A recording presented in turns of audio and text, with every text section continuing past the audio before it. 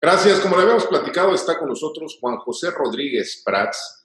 Usted lo conoce muy bien, uno de los políticos más polémicos, un hombre con una memoria fotográfica, un político además que conoce como pocos, pues a los políticos, a sus contrapartes de la política. Juan José, bienvenido. Ricardo, como siempre, un abrazo muy afectuoso y con enorme agradecimiento por la oportunidad que me das de hablar con tu auditorio. Juan José, pues segundo informe de gobierno, dos años de tu paisano López Obrador, de tu amigo López Obrador, y todo el mundo dice que, o casi todo el mundo, que fue un informe de mentiritas o de mentirotas. ¿Tu opinión? Mira, Edna Jaime, que preside México Evalúa, dijo una frase que me fascinó. El segundo informe fue la lectura de un sueño. Creo que ahí está sintetizado, pero déjame hacer un poco una reflexión histórica, porque la ceremonia del informe fue muy trascendente. La Revolución Mexicana generó un sistema político. Yo creo que desde 1917, desde la Constitución del 17 hasta el 2000, fue un sistema que se caracterizó por dos piezas fundamentales que Daniel Cosío Villegas las explicó un presidencialismo exacerbado ejerciendo facultades metaconstitucionales y un partido hegemónico. Cuando se habla estamos retornando el viejo PRI, no, por favor, no comparen a Morena con el viejo PRI. El viejo PRI tuvo eh, profesionales, tuvo discurso político, el nacionalismo revolucionario, tuvo su ritual, y esto era el informe, era un ritual. Estuvo su operación política, su profesionalismo, la selección de hombres. Morena, yo no eh, le doy mayor vida que un sexenio. Morena, a final de este sexenio se acabó porque gira en torno a un hombre, y no es un partido, es una estructura de poder, no tiene una doctrina, la 4T no es nada. Entonces, el viejo PRI, que podríamos hablar muchas cosas ese sistema que se creó como algo provisional, porque lo dijo Puig Saurán y lo dijo Luis Cabrera, fue una medida de emergencia a una situación en donde era algo perentorio, reconoció siempre una falta de legitimidad de origen. Y Octavio Paz dijo, si el PRI llegara a permitir el tránsito hacia la democracia, lo salvaría el veredicto de la historia. Lo hizo. Ahora, que debió a las presiones, que se agotó el sistema, que hubo una cuestión de la globalización, estoy totalmente de acuerdo, hubo un destello muy importante de desarrollo económico, de baja inflación, Estado de Derecho, podría yo mencionar muchísimos atributos, una frase de Reyes Heroles, en política la forma fondo, hoy ni la forma ni el fondo. ¿Qué significa, Juan José? Tú conoces muy bien, quizá como pocos, quizás seas el que más conoce a Andrés Manuel López Obrador, hoy presidente, ¿Qué significa que hoy muchos dicen lo siguiente? Pudo haber sido el mejor presidente de la historia, pero se acabó su sexenio apenas al segundo año. Mira, eh, Andrés Manuel lo conoce nadie. Andrés Manuel es una personalidad muy compleja que no puedes predecir.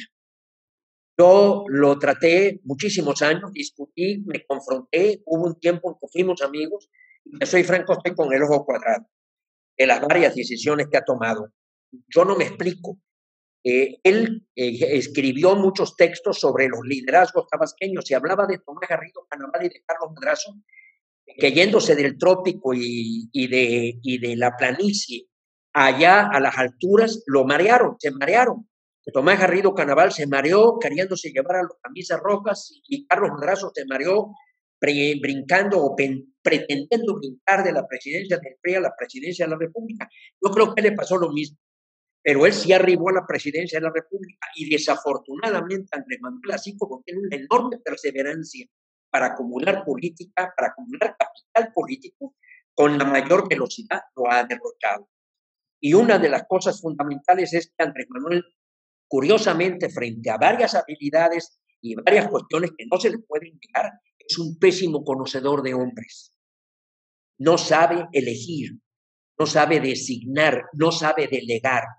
No te puedo decir que el gabinete de hoy, aquí regreso al viejo PRI, eh, partían de un perfil. Claro.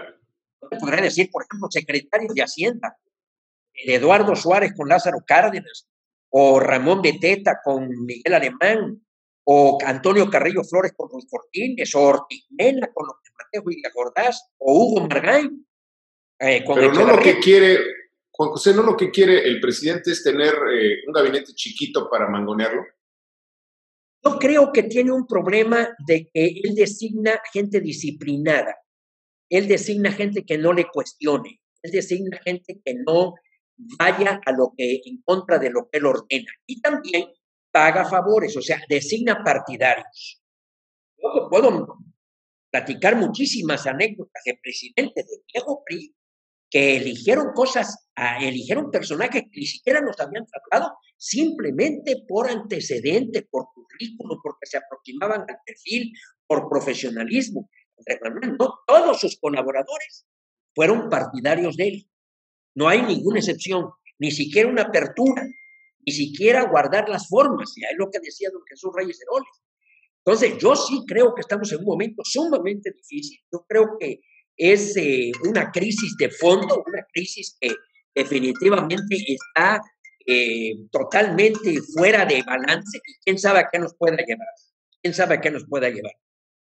Hay quienes dicen que engañan al presidente, otros dicen que es ignorancia, pero casi nadie entiende por qué errores tan gigantescos en asuntos de la pandemia, en asuntos de seguridad, en asuntos económicos, prácticamente en toda la gestión en todos los rubros. ¿Qué está pasando?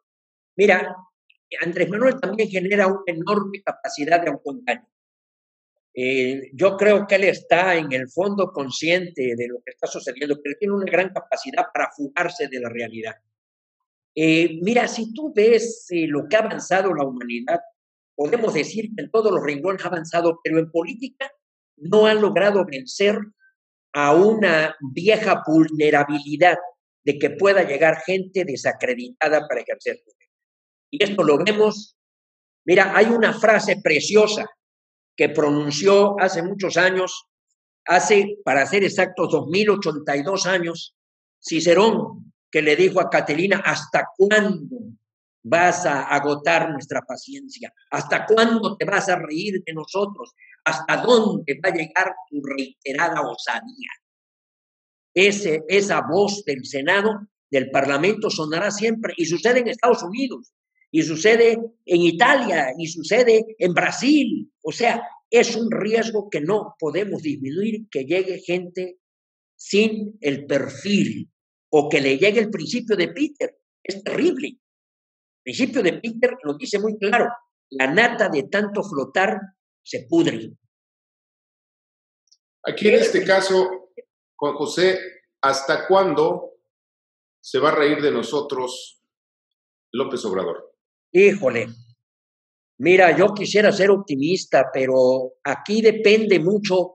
Hay una fecha, Ricardo, que deberíamos de hacer como un día de imitar el 5 de octubre de 1988, cuando toda la oposición en Chile celebró una gran alianza para que Pinochet no continuara en el poder y se ganara el plebiscito con el no. Esa madurez de la clase política chilena, ojalá la pudiéramos tener el año próximo y logremos una mayoría en la Cámara de Diputados, sin que eso signifique tampoco ninguna solución. Porque de una vez si ganamos todos los partidos, entonces ponernos de acuerdo entre nosotros mismos, entrar a ciertos eh, arreglos de un Estado de Derecho que se está deteriorando va a ser muy difícil, porque yo lo que veo hacia adelante mm, es un enorme desorden. Yo lo que veo hacia adelante es un enorme deterioro del Estado de Derecho.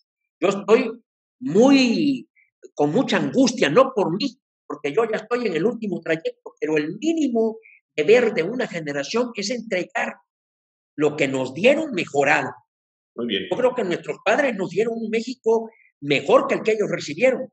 Pero yo tengo que pedirle perdón a mis nietos y a mis hijos porque le vamos a entregar un México sumamente complicado.